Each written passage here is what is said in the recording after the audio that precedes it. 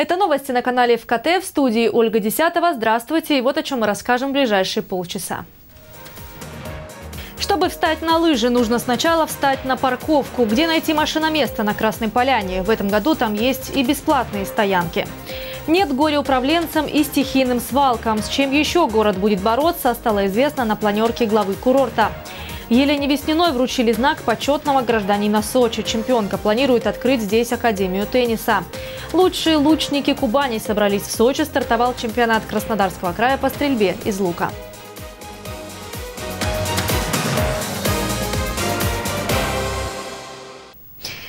Новый перинатальный центр появится в Сочи уже в следующем году. Это позволит оказывать высокотехнологичную помощь женщинам уже на ранних сроках беременности и выхаживать недоношенных детей с весом от 500 граммов. 25 лет. Вопросы охраны материнства и детства обсуждали сегодня на федеральном уровне. Председатель правительства Дмитрий Медведев провел селекторное совещание с регионами. Участие в нем принял губернатор Краснодарского края Вениамин Кондратьев. За последние 25 лет уровень материнской и младенческой смертности в стране снизился, отметил премьер-министр. Это потому, что вовремя была оказана медицинская помощь. Работа по созданию перинатальных центров началась около 10 лет назад. Тогда таких клиник в нашей стране были считанные единицы. Сегодня научные институты работают работают практически в каждом регионе страны. С 8 по 15 год было построено 25 перинатальных центров. А в 2014 году по настоящую пору у нас строится 32 перинатальных центра. Но работа эта завершается не во всех регионах. Было принято решение перенести сроки на следующий год. Запланированные на перинатальные центры средства из бюджета Федерального фонда обязательного медицинского страхования выделены. Краснодарском крае работают пять перинатальных центров. Еще один появится в Сочи.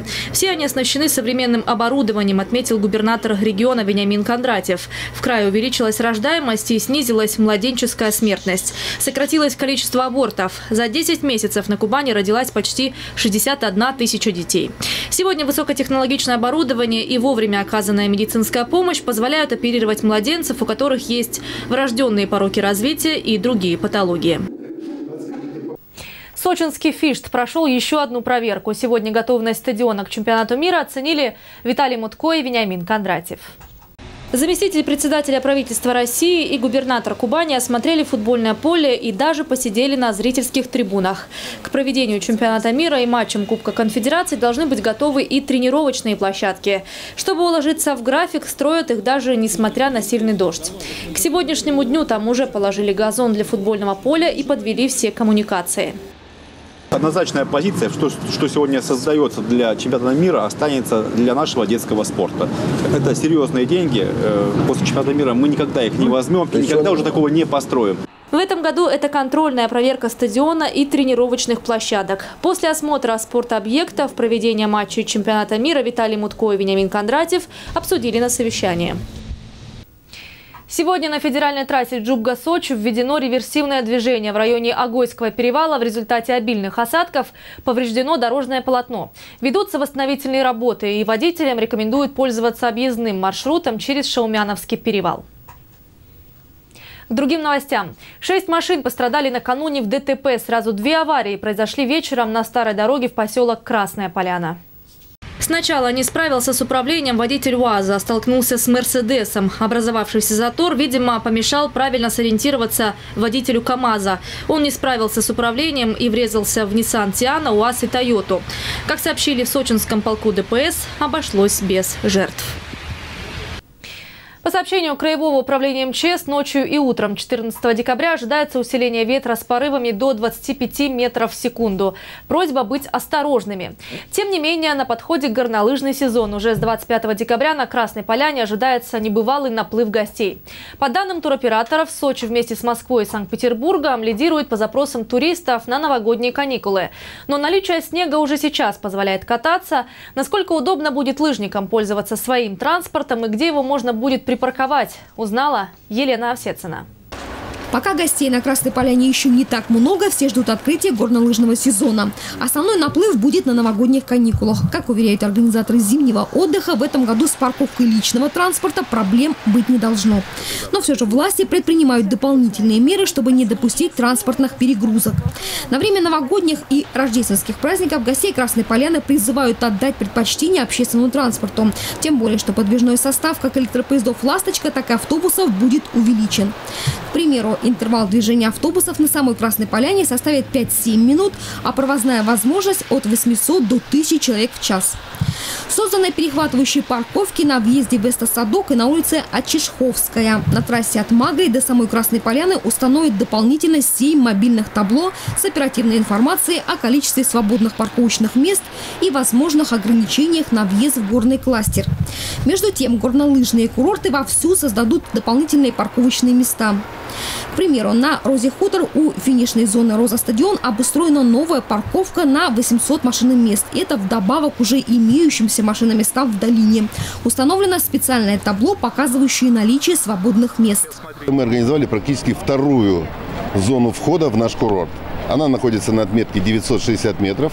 Это э, объект, так называемый «Роза Стадион», который включает в себя огромную парковку на 800 машиномест. В прошлом году у нас там было порядка 250, в этом году мы довели до 800 машиномест. Причем парковки бесплатные. Кстати, в пешей доступности от новой высокогорной парковки находится станция канатной дороги с пунктом продажи скипасов. И здесь они будут стоить дешевле, чем внизу. А на курорте Горки город, кроме подземных парковок, обустроены места для машин на высоте 540 метров, там 1350 мест и 234 парковочных места на отметке 960 метров над уровнем моря. Мы располагаем одной из систем мировых лидеров, что позволяет отслеживать, э, скажем так, состояние парковок. Э, это система скидата. Она идентифицирует каждую машину, поэтому инцидентов я очень надеюсь, что в этом году мы избежим. А, поэтому мы располагаем платной парковкой, естественно, но для проживающих у нас э, целая разработанная система скидок. Не останутся без возможности припарковать свой автомобиль и гости горно-туристического центра «Газпром». Здесь построены многоуровневые стоянки, в том числе на территории «Альпека Сервис». Сейчас городские власти вносят коррективы и в работу экскурсионной сферы. На полпути между горным и прибрежным кластерами на автомобильной развязке у села Молдовка будут дежурить сотрудники всех трех горнолыжных курортов «Роза Хутор», «Газпром» и «Горки город». Их цель – проверять наличие пропусков для экскурсионного транспорта. Для таких автобусов будет создана единая диспетчерская служба. Помимо этого, на дорогах самого горного кластера и на подъезде к нему выставят 14 мобильных постов ДПС, которые будут перераспределять транспортные потоки. В целом же горный кластер сможет единовременно принять 4722 машины. Именно столько мест предусмотрено на парковках. Въезд на Красную Поляну разрешается только на зимней шипованной резине. Автомобилистам, планирующим поездку в горы, рекомендуется заранее учесть это обстоятельство. Елена Овсецина, Демид Даниловский, телекомпания «ФКТ». Готовность к наплыву туристов горнолыжных курортов накануне проверил и мэр Сочи Анатолий Пахомов. Вместе с вице-губернатором Андреем Алексеенко осмотрел парковочные места на горке город, Роза Хутор и у вокзала Эста-Садок. Прежде всего, глава города обратил внимание на состояние дорожного полотна. После рекордного количества выпавшего в Красной Поляне снега остались сугробы вдоль дороги и на тротуарах. Больше всего нареканий пришлось на долю железнодорожного вокзала Эстасадок и самой трассе. Анатолий Пахомов обратился к федеральным и краевым собственникам с просьбой оперативно расчищать проезжую часть и пешеходную зону. Есть и необходимость установки дополнительных дорожных знаков. В целом отметили проверяющие готовность к зимнему сезону высокую высокая, но работать есть еще над чем. Правильно и четко расставить приоритеты помогут специалисты, которые входят в состав координационного штаба. Курировать эту работу будут Департамент транспорта, Министерство курортов края и администрация Сочи. С 28 декабря по 8 января начнет работать краевой штаб, э, в состав которого войдут вице-губернаторы руководители органов исполнительной власти и представители муниципального образования город-курорт Сочи. Э, соответственно, этот штаб будет обеспечивать координацию работы всех служб и оперативно реагировать на какие-то возникающие проблемы. Средства размещения, парковки и подъемники готовы принять туристов. Кстати, оставлять свои автомобили гости смогут не только в долине Роза Хутор, но и на высоте 960 метров. Там и скипасы намного дешевле. А вот торговая сеть еще требует доработок. Руководители горнолыжных курортов должны решить все вопросы с сетевиками, складскими помещениями и доставкой продуктов. 25 числа Роспотребнадзору нужно внимательно и оперативно поработать над тем, чтобы в этом году э, и сети э, быстрого питания, и торговые сети, во-первых, были, чтобы э, были услуги таковы, а во-вторых, чтобы эти услуги были качественными. Качество и комфорт многочисленным туристам должны быть обеспечены во всем, начиная от наличия волонтеров до мер безопасности.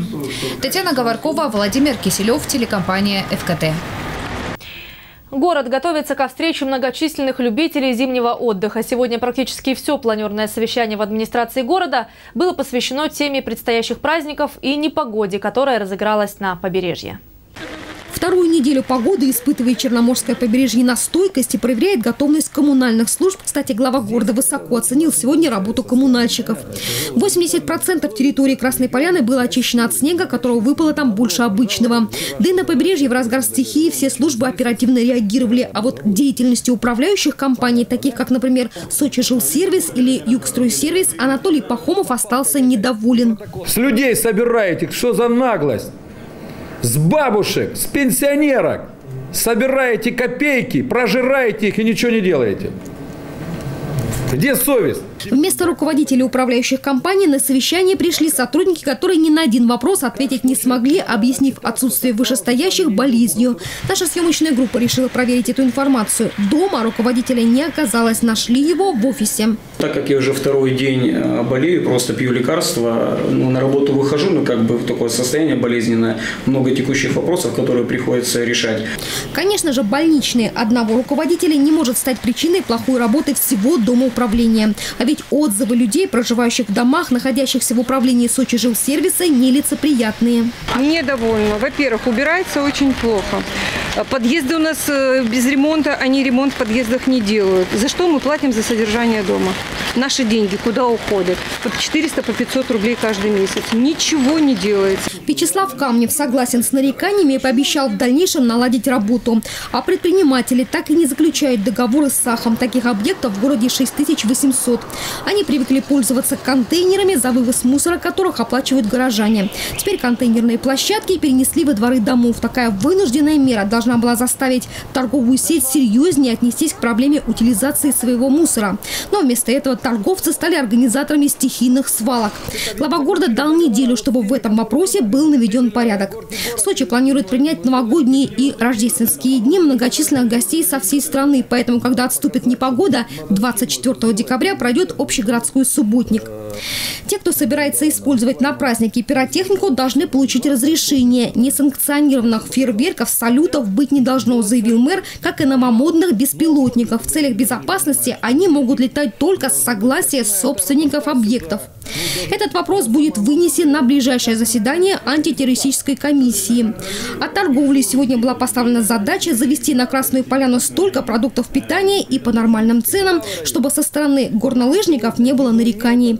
А нарядном и праздничном Сочи должен встречать гостей уже 19 декабря. По сути дела, неделя целая впереди, и она должна быть нацелена, что все до единого торговые объекты – это красота, это привлекательность и все остальное. Такого нет. Я не вижу этого. Путевки в зимний период на все горнолыжные курорты раскуплены. Много туристов ожидается и неорганизованных, но независимо от того, кто и откуда к нам приедет, Сочи просто обязан произвести позитивное впечатление. Елена Овсецина, Демид Даниловский, телекомпания «ФКТ». В Общероссийский день приема граждан в сочинской администрации рассмотрели десятки вопросов и проблем жителей курорта. По поручению Анатолия Пахомова прием граждан провели пять его заместителей. Что волнует сочинцев и как снизить количество обращений граждан? Эти и другие вопросы первый вице-мэр Мугдин Чермит обсудил с начальником управления по работе с обращениями граждан Еленой Романовской. За время приема к заместителям мэра Сочи обратились 38 граждан. Четверых заявителей в режиме видеоконференции связали с краевой администрацией. По словам начальника управления по работе с обращениями граждан, сочинцев волновали вопросы предоставления жилья, капремонта, переселения из аварийного жилья. Затрагивают горожане и проблемы вода, газоснабжения, а также канализования. В целом же в текущем году в администрацию поступило 21 тысяча обращений граждан. По сравнению с прошлым годом цифра уменьшилась на 10%.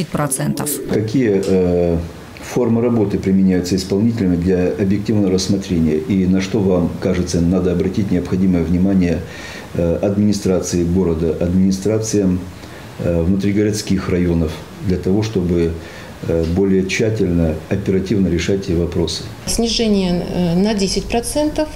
Э, и, в общем-то, это связано, я думаю, с большой положительной динамикой решения вопросов, которые происходят в городе. Все жители это видят. Надо максимально рассматривать почти, ну, практически все обращения с встречи с заявителями в своездомное место для того, чтобы разобраться со всеми проблемами жителей, э, принимать их на личных приемах. С горожанами нужно чаще контактировать, подчеркивает первый вице-мэр. Именно в таком случае количество обращений будет уменьшаться. Исходы граждан должны проводиться ежеквартально, как сейчас это происходит в Хостинском районе курорта, куратором которого является Мугдин Чермит. Думаю, что эту практику надо распространить на весь город. Люди будут понимать, что ежеквартально с ними встречаются, слышат и видят их проблемы волнующие, отвечают на них. Здесь же есть представители значит, э, Сочи Горгаза, здесь есть те, кто занимается дорогами, здесь есть те, кто занимается здравоохранением в городе э, и так далее, и так далее по всем направлениям. Поэтому я думаю, что это если мы работу организуем именно в таком формате, я думаю, что это вызовет, несомненно, снижение обращений граждан. Да, хорошо принято. Стигну. Напомню, общероссийский день приема граждан прошел накануне во всех госструктурах по поручению президента страны. Инга Габешия, Михаил Дубинин, Владимир Киселев, телекомпания ФКТ. В Сочи задержаны подозреваемые в краже ливневых решеток. Выйти на след злоумышленников помогла видеозапись городских камер наблюдения. Двое 25-летних подозреваемых ранее привлекались к уголовной ответственности. Кражи люков и решеток они совершали как ночью, так и днем. Перевозили похищенное на автомобиле. Выйти на след злоумышленников помогла изъятая запись камер видеонаблюдения. Сотрудниками уголовного розыска в кратчайшие сроки была установлена машина, на которой передвигались злоумышленники. А, вскоре их удалось задержать. Ими оказались двое 25-летних приезжих из сопредельного региона. Как рассказали подозреваемые в кабинете следователя, кражи они совершали в Центральном и Хостинском районах. Люки и решетки сдавали в пункты приема металла, а вырученные деньги тратили на собственные нужды. В отношении приезжих возбуждено уголовное дело. Санкции статьи предусматривают максимальное наказание в виде лишения свободы сроком до пяти лет. Объясниться придется и владельцам пунктов приема металла полку почетных граждан города-курорта прибыла заслуженному мастеру спорта России, олимпийской чемпионке 2016 года, неоднократной победительнице турниров «Большого шлема» и просто сочинки Елене Весниной вручили удостоверение и памятный знак почетного гражданина города Сочи. Расскажет Инга Габешия. Наградить званием «Почетный гражданин города Сочи» известную сочинскую теннисистку Елену Веснину предложил глава курорта Анатолий Пахомов. В итоге за кандидатуру олимпийской чемпионки депутаты городского собрания проголосовали единогласно. Она настоящий патриот России, любит город Сочи и э, всячески способствует тому, чтобы город развивался, а продвижение курорта, оно еще зависит и от того, что постоянно называют где откуда человек, вот, и когда говорят Веснина, все знают, что это Сочи. Это здорово, правда? Памятный знак, к слову, золотой, и удостоверение почетного гражданина города Сочи Елене Весниной вручили при участии городской общественности. Сочинцы поблагодарили Веснину за участие в спортивной жизни курорта. Елена – единственная олимпийская чемпионка, которая проводит мастер-классы для юных сочинских теннисистов. Это безумно приятно стать почетным гражданином своего города. Я стараюсь э, прославлять наш город. Я надеюсь, что у нас в будущем будет еще много чемпионов, олимпийских чемпионов. И э, мой пример э, самой обычной простой девочки из города Сочи вдохновит и поможет и родителям, и детям верить в себя и идти к своей цели до конца. Спасибо вам большое. Спасибо. Недавних пор в Сочи проходят не только мастер-классы весняной, но и кубок по теннису имени олимпийской чемпионки. Но это еще не все, уверяет Елена. Она и дальше планирует не просто прославлять родной город, но и развивать здесь большой теннис на самом высоком уровне. У меня очень много планов, и все они связаны с городом Сочи. Я бы хотела открыть Академию тенниса, а, чтобы у нас а, именно в самом городе Сочи, чтобы у нас были и теннисные корты, и многофункциональная база, где можно было и тренироваться, и восстанавливаться. И э, как раз будем с Анатолием Николаевичем обсуждать этот вопрос. Благодарность глава города выразил и родителям Елены. Как известно, первым тренером сочинки был ее отец. Самой же Весниной пожелали новых спортивных побед. Инга Габеша, Николай Тихонов, телекомпания ФКТ.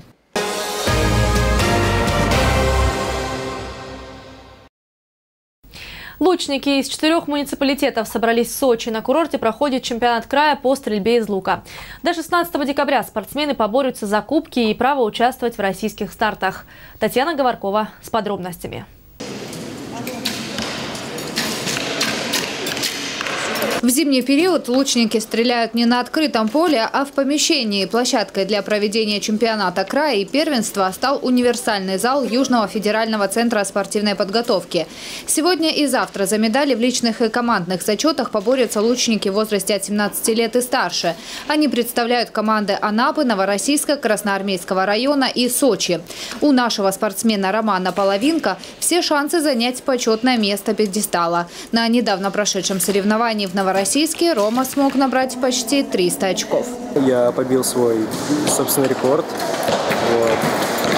Выполнил норматив э, мастера спорта, но мне его не присвоят, так как на этих соревнованиях не было судей высшей категории. Я надеюсь на эти соревнования показать высокий результат, чтобы уже знать, что я покажу какой результат на следующих соревнованиях. На этих соревнованиях получить звание кандидата в мастера спорта уже можно. Кроме того, показать хороший результат значит получить шанс войти в состав сборной команды края и выступить на всероссийском турнире.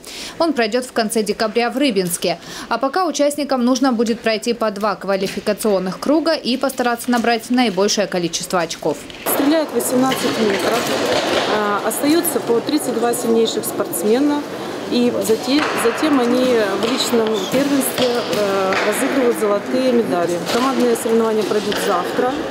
Вот, по итогам квалификационного раунда берутся сильнейшие команды, и, соответственно, они тоже будут разыгрывать медали. Итоги чемпионата края подведут завтра. После пройдет первенство, где за кубки поборются юниоры и юниорки. Их результаты станут известны 16 декабря. Татьяна Говоркова, Алексей Давыдов, телекомпания «ФКТ».